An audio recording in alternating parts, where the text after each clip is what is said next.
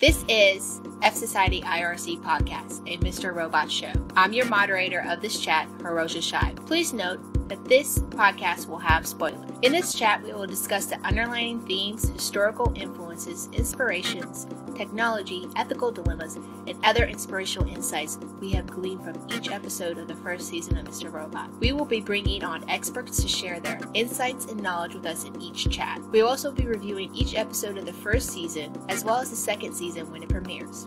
We are awake, we are free, we are alive for F Society IRC podcast.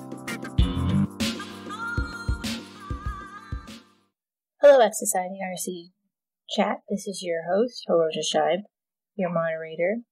And once again, we're here with a, a bit of a theory episode. This is a bit more of a mini one. This is about Elliot. Is Elliot three different personalities? This is a theory that's been going around for quite some time since season one. Uh, often when you hear about Elliot being, being a, having a third personality, is often tied to Tyrell Wellick, or Wellick, I should say, um, that's been kind of been disproven and debunked. It doesn't make uh, any kind of logical uh, sense uh, for the show for Tyrell Wellick and Elliot to be uh, one and the same. But for Elliot to have a third personality, it does make sense, and given the revelations that we we've had thus far on the show.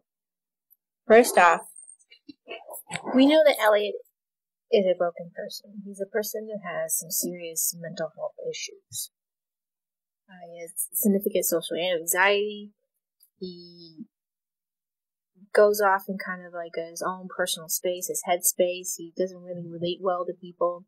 While these are not obvious signs of mental illness, the fact that he has these grand delusions, uh, in particular, you know, envisioning his father as Mr. Robot, uh, a personality that we know takes over him in some cases, the various uh, gaps in time that he has. Uh, for missing three days is not the first time that Elliot has had um, unaccounted time where he can't account for his actions. Uh, that was a revelation we learned from the meeting of, between him and Darlene on Halloween when they went to when they sat down in his apartment and kind of go, you know, how does sister and brother talk about what's going on in their lives? We learned that Ellie didn't remember destroying the servers. We also find another revelation where, given the last episode, Hidden Processor, that Elliot had this a breakdown at the Queen Museum where he was yelling at staff members, asking them where a certain individual was, and they couldn't see him, but he could see that person. And Elliot doesn't remember having that moment. He also doesn't remember the three days of missing and what really happened to Ty- Tyrell Wellick. So there's these periods and gaps in time that he does not remember. And for the longest time, we assumed that that was the case that uh, Mr. Robot was taking over. But there's a stronger and increasing case there might be a third personality. What I mean by that, the original Elliot. The Elliot that we may have seen in that meeting in Halloween, on Halloween night that was a bit more mellow, a little despondent, maybe a little depressed, if you will. But it's not, it seems to be as focused individual as Elliot that we see. And also not as completely angry like Mr. Robot. Uh, and why a lot of people go with this theory that there might be a third personality is the fact that the first season Elliot didn't remember that Darlene was his sister. The first season Elliot did not when he went to look for his life experiences, could not find any tangible information about himself online, or even within his apartment, really. And when he finally did have that revelation that Mr. Robot, the person he's been talking to, and he could see, uh, he began to see different parts and memories of, of his existence, in particular the fact that his Darlene was his sister, Darlene was in these pictures and part of his life. So there there's reason to believe that perhaps there was an original Elliot, an Elliot that was a a composite, if you will, or the, the some parts of the the two individuals we've been watching on Mr. Robot, Mr. Robot, the television show, Mr. Robot, the character, and Elliot, the the hacker that we were following. And this might have been a deliberate part on the part of Elliot to be able to enact uh, the SSID plan, to be able to go through this plan. If he was able to do what needed to be done, he needed to be totally committed and totally focused. And so he exercised the parts out of himself that were hindrances. I mean, the, the, the social ties that he had to Darlene, um, being focused as, as her as being a family member. Because if he did that, if he had to care about Darlene, if he had to focus on Darlene and try to rescue Darlene, then he wouldn't be able to enact the plans that he needed to do because he was de- definitely putting Darlene in danger.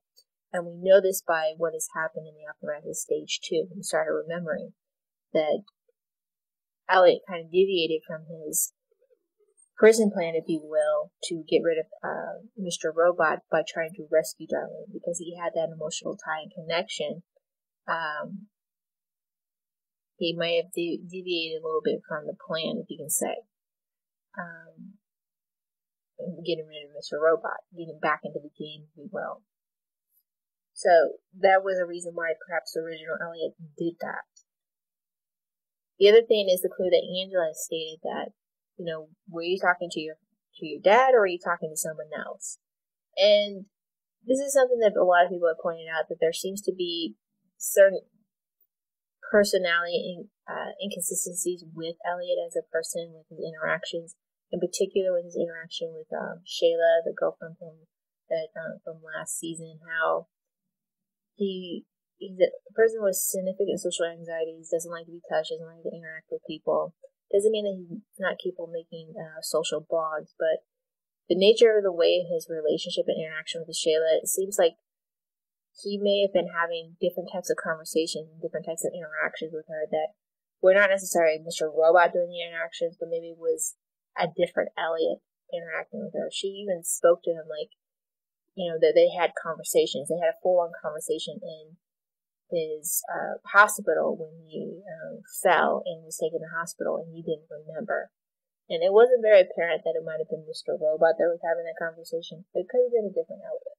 And the reason why that's important is because if you think of it on the sense that of, you know, the traditional sense of how characters are wrote down in movies and books, like the super ego, ego and id, with um, the very hyper focused hacker uh, aspect of personality would be uh, the Elliot that we see, the hacker Elliot.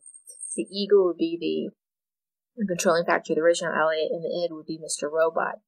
But if you think of the sense of a, of a computer, where you would have administrator, a guest login, which would be Mr. Robot, and then a normal, um, a normal password, a normal access person, and Elliot would be the normal access person to the computer system someone who has complete access to the computer system to a point, you know, operating system, except for significant fundamental changes that only an administrator could do. Mr. Robot as a guest can do this, many of the same things as um, the original Elliot can do, or not the original Elliot, but the Elliot, normal Elliot can do, the, the hacker Elliot.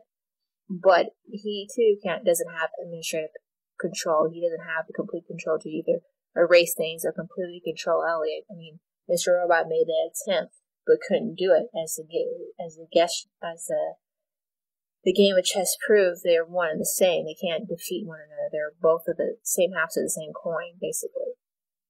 And because of that, because they both cannot completely control uh, one another, or can have complete access to, you can say, um, the whole Elliot. Um, you can almost have a sense that um, there could be a third party in play here.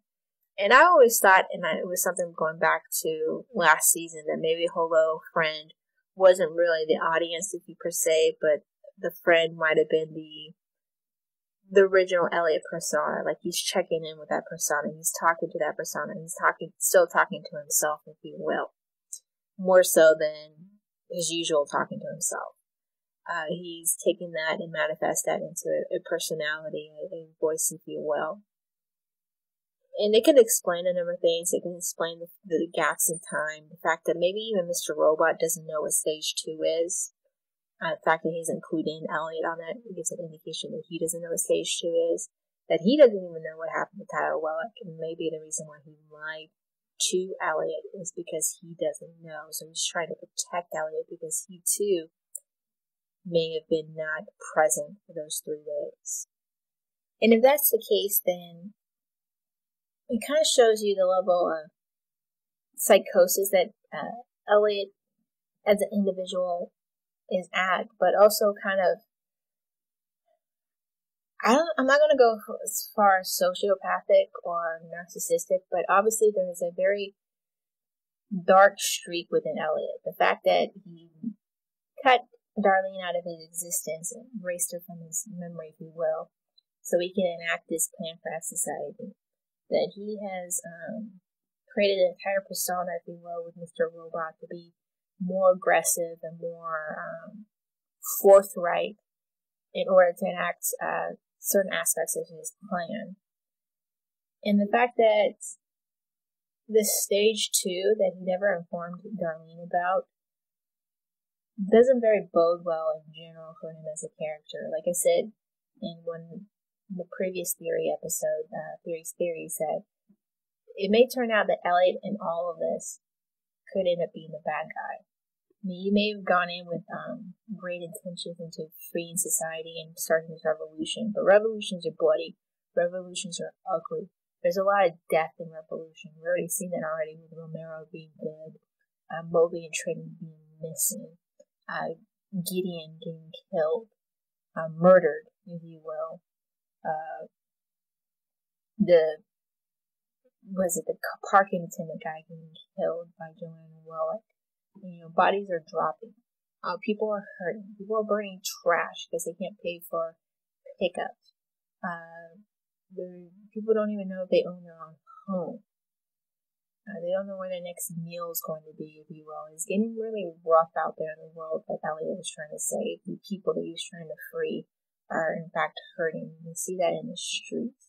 I wouldn't be surprised towards the end of this season if we see some um, either a riot or some type of violent action as a byproduct of what has happened, even more so than the violent actions we've seen with uh, Cisco, most likely in all case being dead, and Darlene being severely injured or not dead herself. So there is a bit of a coldness, if you will, with original Elliot and his design for this plan and his breaking up of his personality or his creating this, these personas so he can enact this plan. The other kind of clue was the dream sequence from last season where the dream version of Angela spoke to Elliot and said, gave him a key and he was wondering what the key was and she was trying to tell him that he was only a month old.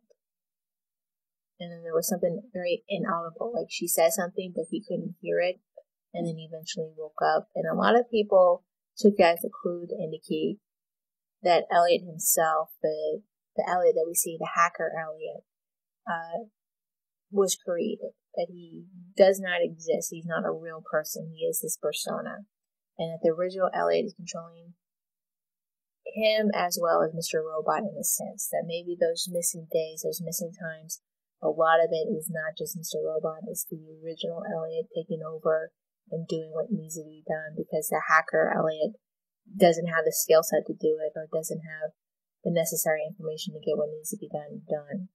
And also a lot of this, you know, splitting up his personality, splitting, splitting up the persona, also protects him because Elliot, because he doesn't know what all of that's going on, all that information. If he was ever caught, if you if you were to say, much similar in the fashion that he went into prison, he would be able to maintain the illusion or maintain a sense of innocence, you will, and not reveal anything because he doesn't know anything. Depending on which persona gets caught, whether it be Mr. Robot, uh, the hacker Elliot, if you will, wouldn't know anything, and original Elliot can remain hidden uh, behind the curtain, if you will, and and not be caught in a sense, not have to deal with the consequences. Maybe living in that kind of a that '90s esque sitcom our world, if you will, instead of dealing with the reality around him. So that's it. That's just my thoughts. I think that we're going to see perhaps uh, something to the effect of a third personality showing up It might be original Mr. Elliot. It might be something completely different. But it'll be, um, I'm just looking forward to the season finale. Again, that's being broken up into two parts, uh, with the first part this week and the second part next week. But it'll be interesting to see whether or not, uh, I think enough has been seeded through this season and last season for a, a third personality to be revealed, for that revelation to perhaps come, come about. So that's pretty much it. That's very thought. Uh, this is my thoughts on the whole subject matter. Um, I'll have a link in the show notes to a couple, a couple Reddit posts that kind of delve into the third personality of Elliot. Uh, but that's it for now. Uh, the next episode you will hear from me will be about the Washington uh, Township plant fairies. So logging off for now.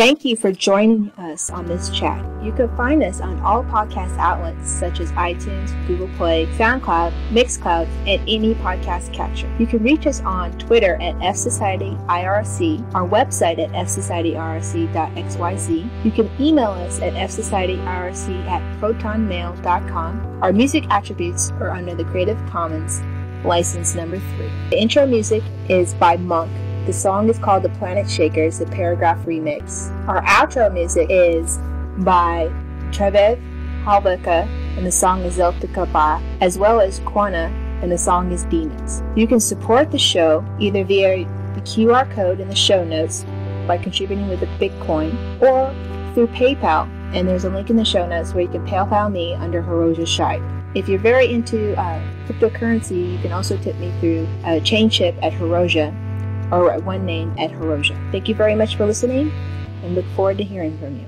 Logging off. This has been a Hiroja Shibe Space Odyssey Network production.